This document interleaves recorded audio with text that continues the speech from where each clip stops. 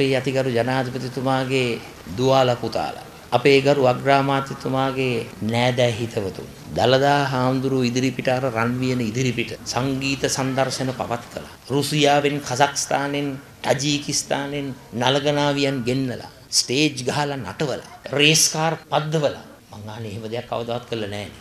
හිතලවත් නෑ. එතකොට දලදා හාමුදුරුව ඉදිරියේ රට දෑ බේරගත්තු රණවිරුවලව් වල වැලි කොට්ට ගහලා රේස් කාර් පදින එකෙන් බුද්ධ ශාසනය ආරක්ෂා වෙනවා. දැන් ඒ කාලේ ඒ ඇත්තෝ ඔය 9 වෙනි වගන්තියේ ක්‍රියාත්මක කරේ යන්න ඔය ආකාරයට. එදා ගම්මුදාවක් ගම්මුදාවක් පාසා චෛත්‍යයක් ඉදි වුණා. අපේ ගරු අගමැතිතුමා නිහඬ ආගමික සේවාවක් කරගෙන යනවා. එතුමාගේ ප්‍රතිපත්ති කටයුතු අමාත්‍යංශයෙන් දැවැන්ත අරමුදල් ප්‍රමාණයක් වෙන් කරනවා. අතිගරු ජනාධිපතිතුමාට පන්සලක අඩුපාඩුවක් කියලා එක ලියුමයි යවන්න තියෙන්නේ. ජනාධිපති අරමුදලෙන් අසීමිත ලෙස උදව් කරනවා. මෙන්න මේකයි සත්‍යය.